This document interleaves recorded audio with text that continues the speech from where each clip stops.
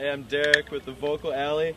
This ski is a great ski for the beginner to intermediate that wants to ski the whole mountain, maybe in Michigan, on groomers, on piste, and in the park as well. Uh, soft flex, really forgiving, sidewall construction, and it's a great value point at $299.